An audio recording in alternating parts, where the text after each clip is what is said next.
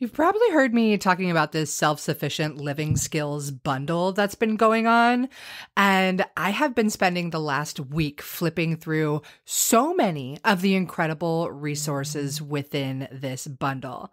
Now, I will say there's a lot. There's over 118 different ebooks and courses and lessons sharing incredible wisdom and knowledge with you so you can live off the land and you don't have to rely on this corrupt and broken system for everything for your family. Anyways, I wanted to share some of my favorite things. One, first off, is off grid homeopathy. This course is loaded with so much incredible knowledge, talking about homeopathy for first aid, for colds and flu, how to make your own homeopathic remedies. Like, as an herbalist who loves to teach that stuff, that's pretty exciting to hear it in the homeopathy realm.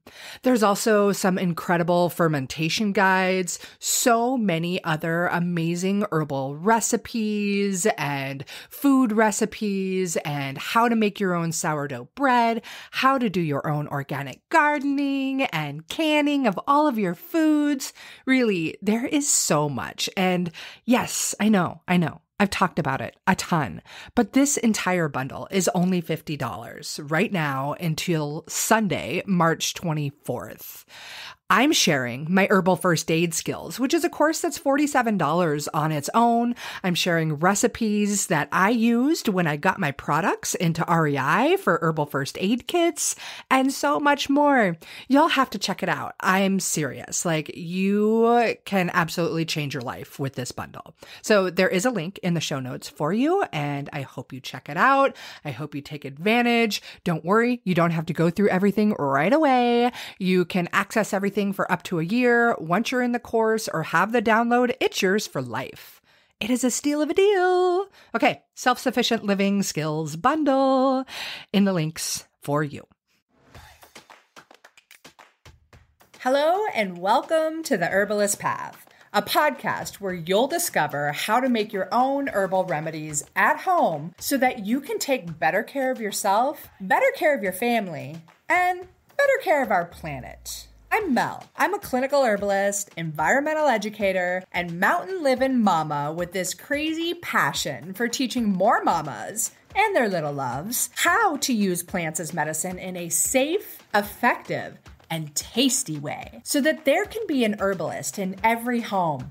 Again, it's an absolute honor to have you on the journey down the herbalist path with me so that together we can make herbalism Hashtag spread like wildflowers. Hello, and thank you for tuning in to another episode here on the Herbalist Path. I wanted to come on to this episode because last night inside of Apothecary Mamas, I had my good friend, brilliant herbalist, nurse, holistic healthcare practitioner extraordinaire from birth to death. And gosh, if we could say beyond, I certainly would. But, anyways, it was Heather Shelton. And I did a podcast episode with her recently, which I'll link to in the show notes because she is totally worth listening to. But, anyways, last night she came into the Apothecary Group and she taught a whole class on postpartum care for mama. And of course, she dove into stuff for baby too. And it was just so darn good. She definitely covered so much more than just the herbs, which was really, really great. But really, it brought me to this place where I was like, oh my gosh, I haven't even really talked much about herbs and pregnancy and um, postpartum times or anything here on the podcast. So I figured I would come in and do that. And so that here I am. That's what I'm doing. and before I get into it, I do have to talk uh, a little bit about safety and just general precautionary measures for herbs in pregnancy and infancy. Obviously, it is a very, very delicate time in life and the creation of life. And there are so many factors that go into a healthy pregnancy and a successful pregnancy. So I do encourage encourage you to use caution with any herbs and for that matter, matter like any pharmaceuticals or over the counter drugs as well. In fact, you could like do the just kind of the way the risk versus benefit with those kinds of things and know that just because it has been approved by the FDA does not mean that it is the best thing for you during pregnancy. And when it comes to herbs, which of course we know are usually not like FDA approved because they don't really want us to know how wonderful plants are for healing our bodies because we are not paying them enough to know that kind of stuff anyways, aside from that, um, what I do want to say about herbs and pregnancy is just to be on the cautionary side and um, maybe consider avoiding herbs during that first trimester when it is such a delicate time in pregnancy sometimes you are going to need them for medical reasons. Maybe you're experiencing extreme nausea and you might want to turn to a little bit of ginger or a little bit of peppermint to help you out in those departments. Um, there is a time and a place. I'm just saying be very careful. Um, and yeah, I think that's enough. I think you get the gist, right? Not all herbs are safe for everybody. They react differently to each person. And with pregnancy, you can start at a very, very, very, very low dose and um, move on from there. And obviously, you know, do your research and make sure the herbs are generally regarded as safe research in pregnancy herbs can be really challenging. It's part of why I have Apothecary Mamas as a men- membership, just so mamas can have their questions answered by me in, in much greater depth. Okay. All that said, Let's dive into the three main things that I think about when it comes to herbal blends for pregnant and postpartum mamas and their little babies. So, um, you know, know that the three main things are nourishment, nervous system support, and flavor. And I'll get into why for each one and suggest some herbs for each one. And of course, you need to consider the safety aspects I just talked about. But from here on, know that the herbs I'm talking about are GRAS or generally regarded as safe. So, along with like health and, and um, pregnancy, obviously your diet and exercise and adequate sleep and emotional support and all of these things create this whole big picture to create the most amazing human you've ever made. so, um, knowing those factors, herbs can also be a fantastic ally. So the first thing I like to think about in pregnancy blends, like when I ran my herbal products company, I had three teas and they were mommy to be.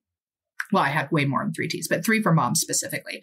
I had mommy to be, I had a peaceful baby tea, and I had the milk ladies tea. And so I named the milk ladies, just a little side note. My mom, um, when she, well, she's my mom. So, but she's also short with dark hair and dark eyes and dark skin. And I am not short and used to have light hair, but it's gotten darker in my older age and lighter colored eyes and lighter colored skin. So she always said that I came from the milk lady instead of the milkman.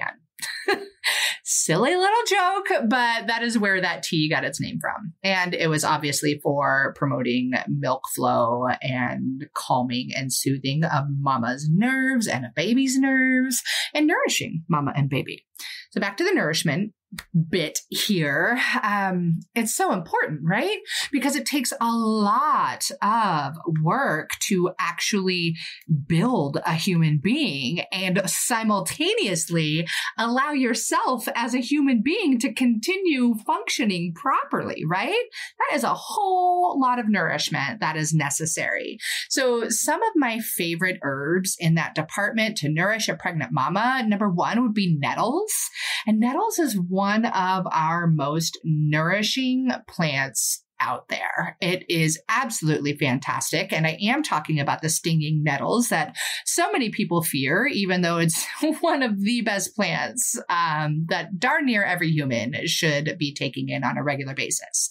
So, anyways, nettles are loaded with calcium. They've got a ton of chromium. They've got lots of iron. So, if you are dealing with iron deficiency or anemia in pregnancy, nettles can be a fantastic ally for you.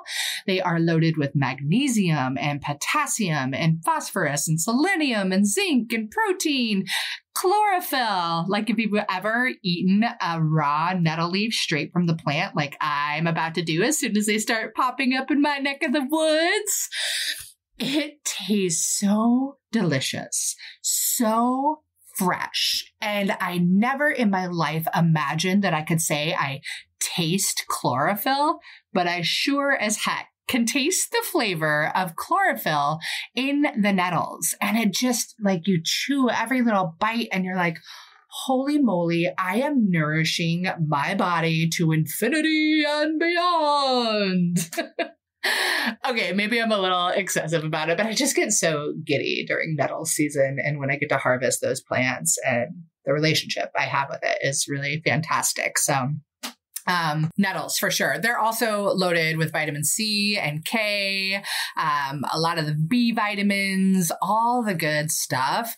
And then it's also fantastic just to kind of generally support the immune system, support healthy digestion, ease inflammation. If you are dealing with swelling due to edema or, oh, sorry about that, swelling or edema or anything along those lines. Wonder if I can get that edited out or if it's going to stay there. I don't know. Um, on that note, nettles are amazing. It also, if you are somebody who is dealing with like those cankles you get in pregnancy, or you've got swollen eyes, your face is swollen, your hands are swollen, it's all that water retention or edema. Nettles are what's called a diuretic herb, and they will promote promote the flow of urine and help you release a lot of that water. So they can be super duper beneficial. I love them, love them, love them in all of the ways. Another herb that I love and plant that is just about to start popping like it's hot in grand abundance all over the world would be dandelion. The leaves are super duper nutritious. They are also loaded with calcium and choline, which is great for that baby's brain development, loaded with iron and fiber and magnesium and potassium, protein, um, beta carotene, your vitamins A, C, D, K. It's got lots and lots of antioxidants in there for your body. The dandelion leaves are going to support optimal liver function. They are amazing for digestive health as well. They're loaded with uh, bitters properties to just get the digestive secretions flowing through the body and optimizing that whole process, which can be really, really nice in pregnancy as well. They're also diuretic like nettles, so can be helpful in the event that you are dealing with those swollen ankles and having that dose of misery from that happening in life. So yeah, dandelion leaves, toss them in your salads. You could do a tea with them, but they're just delightful in a salad. Um, and at the end of this episode, I'll share a tea recipe I like to make for pregnant mamas often. So then the other herb that I highly recommend for pregnant mamas is um, for most pregnant mamas. When I say that, it's not always for everybody.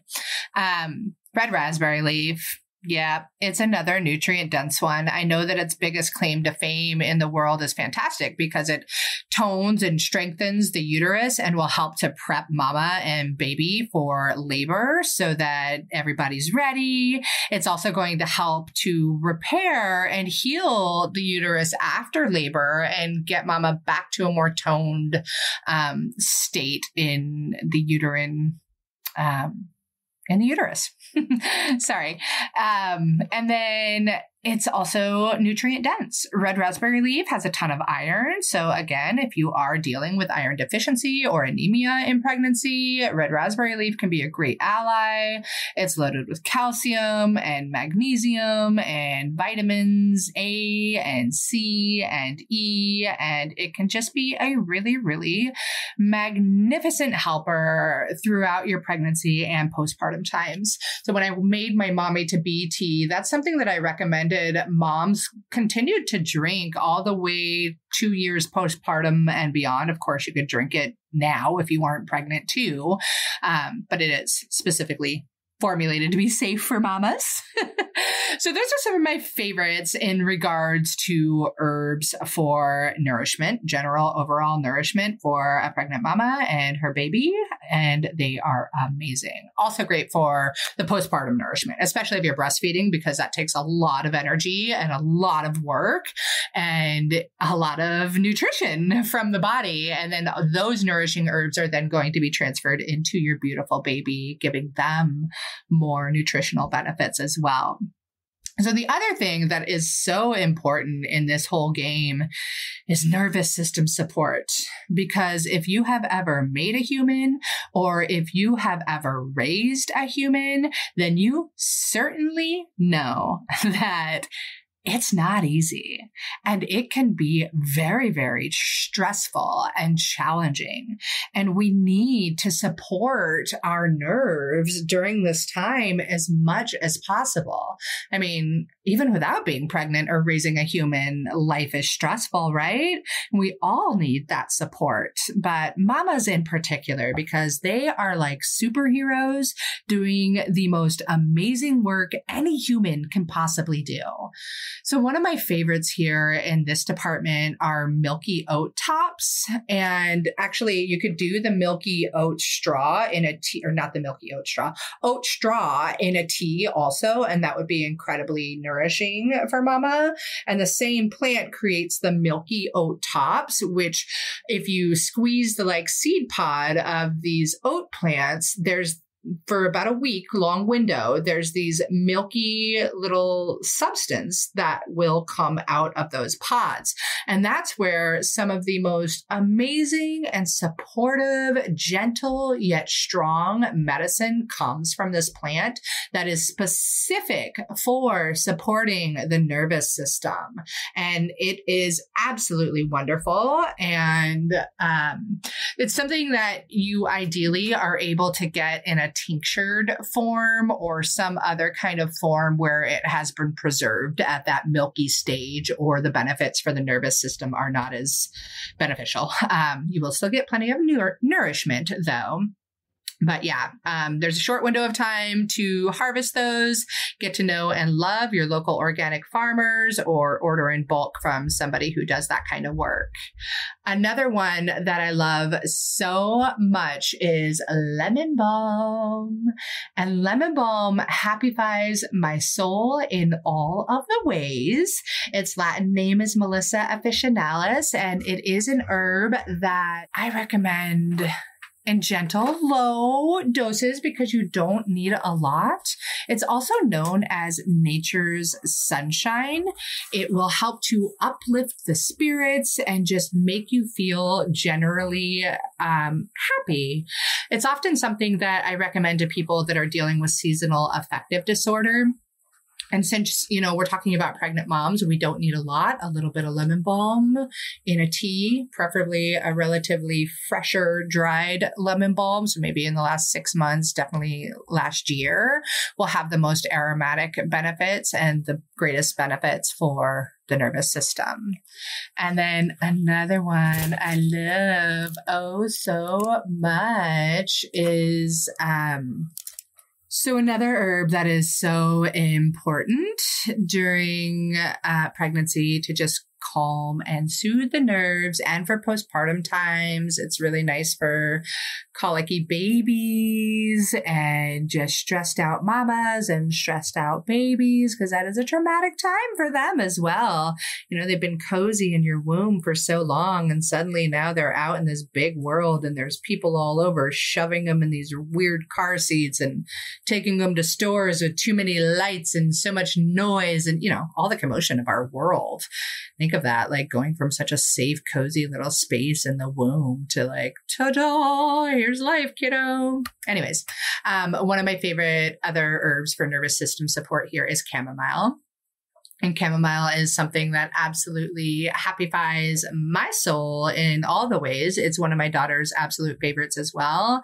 It is specific for um, not only being a nervine herb to calm and soothe the nerves, but it's great for tummy upset. So if somebody is gassy or bloated or you've got that colicky baby, chamomile is going to be a really fantastic ally for you. And it's really tasty and delicious. I feel like it tastes kind of like, um, just kind of like apples like delicious, delicious apples, soft, gentle, loving apples. If you feel that way too, let me know. I would love to hear because not everybody does feel that way, but I for sure do. So, yeah, now we've talked about nourishment. We have talked about nervous system support. And then this is it. This is what is so important flavor. Have you ever been pregnant and just wanted something and then everything that you're allowed to have just tastes like crap and you don't get to enjoy any of the good things? That's miserable. It's so unfun. So I think that it is really, really important to make mama teas that taste delightful, something that they can actually enjoy. And some of the herbs that I turn to to do that are one, yeah, um, chamomile, can really help there. Lemon balm can be a great helper there. You could use a little bit of peppermint, um, definitely super sparingly in your blends. That would be nice and refreshing, especially on those hotter summer days when you're like pregnant and it's 95 degrees and you're miserable. Um, a little bit of peppermint in your otherwise nourishing, calming tea could be really nice if did I say ginger yet? Because if I didn't, I meant to talk about ginger. And here's ginger a little bit more because I obviously didn't go in depth enough. Um, can you tell I don't script my podcasts? Anyways, ginger is another one that can add a little bit of good flavor in there. It's also going to be helpful for mamas that are dealing with nausea. It's amazing for tummy upset. The heat, if you do too much of it, could certainly aggravate a baby if you're breastfeeding and taking a lot of ginger in. So I would use caution there and definitely consider lowering your ginger intake or see what else you could use in replace of ginger. Um, but ginger as a whole is phenomenal for gut health and it's very supportive for the immune system. And I think it tastes delicious.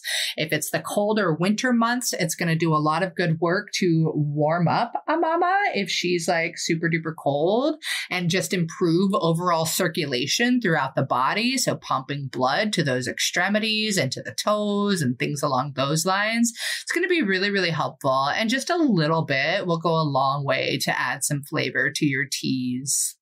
And then how about a little bit of fennel? Not too much, just a little, enough to sweeten a nice tea and give it a nice little flavor.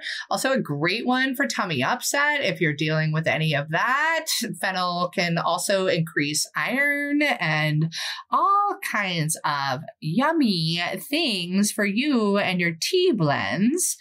And speaking of tea blends, I figured I would share a little recipe that I like to create for my mama friends when they are pregnant. And it consists of a lot of the herbs I just talked about. So you would do two parts of red raspberry leaf to really do that nourishing work of strengthening and toning the uterus a little nettle leaf, one part of that, one part of oat straw. So we're really building in those vitamins and minerals into this blend. And then I would go with half a part of alfalfa, another GRAS generally regarded as safe and nourishing herb for pregnancy, and lemon balm just to keep those nerves nice and calm and soothed.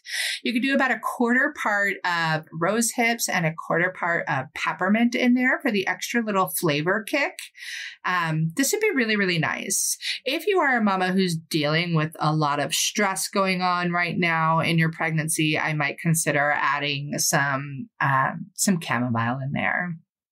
And then you just use about a teaspoon to maybe two teaspoons in your tea, your eight ounce cup of water, and let it steep, covered preferably.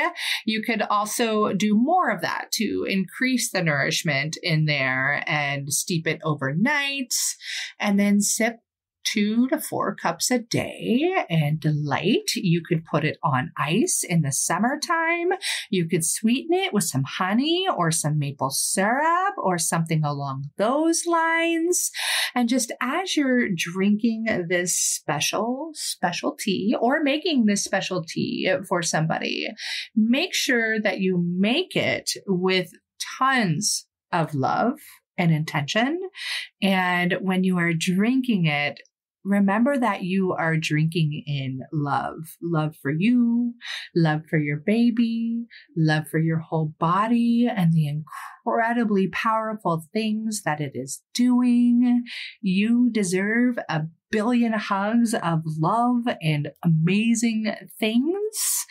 And I'm proud of you. I know that you can do this. It's an amazing, amazing feeling. And yeah, if you decide to try this tea recipe, please let me know how you like it. Reach out to me. You can reach out to me via email or you can um, you can hit me up on Instagram at the herbalist path or TikTok, wherever you like.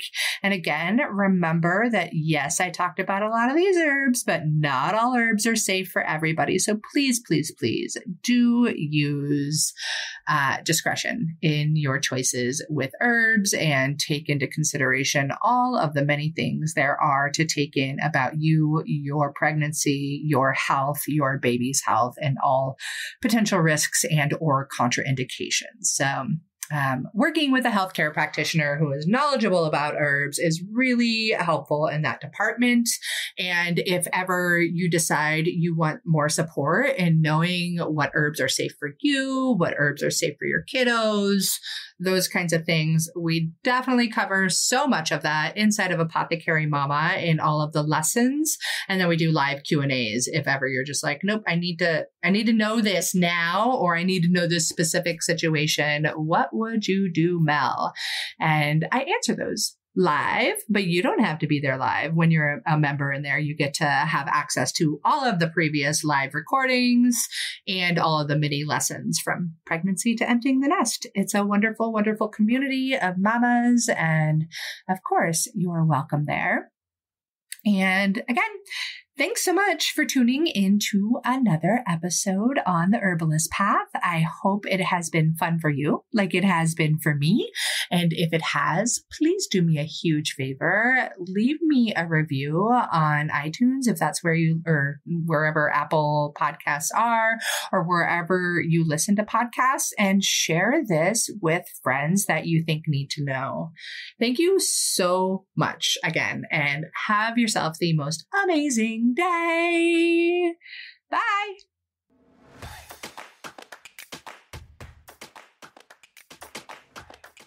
Thank you so much for tuning into another episode of The Herbalist Path. Being on this journey with you is absolutely incredible. If you dig this episode, please leave me a review on your favorite podcast player and share it with your friends so that together we can make herbalism hashtag spread like wildflowers. On another note, I must mention that while I know you're getting some good info here, it's important to remember that this podcast is purely for entertainment and educational purposes and is not intended to be a substitute for medical treatment. While the information in this podcast is absolutely relevant, herbs work differently for each person and each condition. That's why I recommend you work with a qualified practitioner, whether that be another herbalist, a naturopath, or your doctor. So thank you again.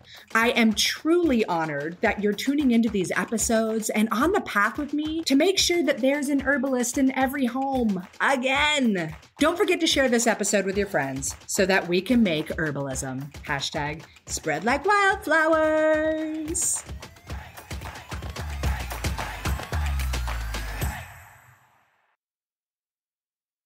It has been so much fun and so, I don't know, joyous watching all of my medicinal plant friends popping up in my garden from the elecampane to the comfrey and the arnica. I love seeing these friends pop up. And if you are still trying to decide what to grow in your medicinal herb garden, you've got to grab my guide. It's all about the most essential herbs that every mom should know and should grow. So I teach you how to grow them and the many different ways that you can use them. If you want to grab the guide, go ahead. It's free and I'm pretty sure you're going to get a lot of delight and use out of it. And there's a link to it in the show notes. I'm wishing you tons of happy medicine planting.